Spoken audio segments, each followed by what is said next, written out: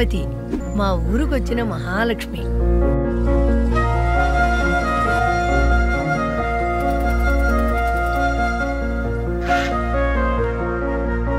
పార్వతిని నేను నా ఈశ్వరుడి కోసం ఇక్కడికి వచ్చాను నేను గోదావరినైతే నా ఈశ్వరుడు సముద్రం.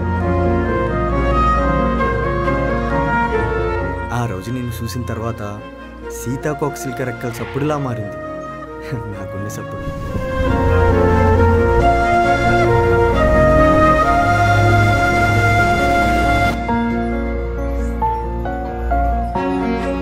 ఈడే మా ఊరి ఈశ్వరుడు గ్రామ వాలంటీర్. నేను ప్రేమిస్తున్నది తనని. అంటే నేనా?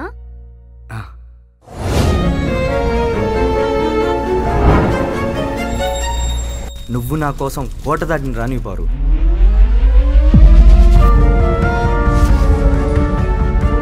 నువ్వు నన్ను పారు అని పిలవచ్చు ఈశ్వర్.